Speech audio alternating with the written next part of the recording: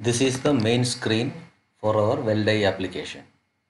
If you look at the screen, you can see there is a user ID and password which you need to provide for login. By default, the user ID is system and the password is also system.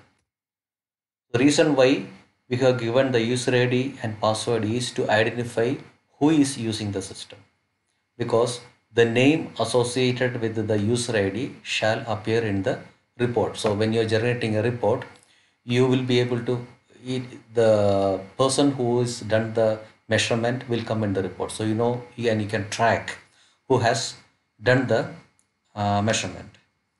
Uh, also, you can add new users through these options in settings. You can add a user you can modify a user you can delete a user you can change the password for example if you want to add the user you can give a user id a user name and a password and a type of users. Basically there are two types of users administrator and a normal user.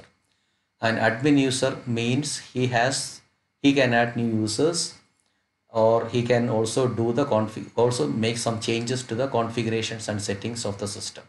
Whereas a normal user he, he cannot do any change in the settings or configuration.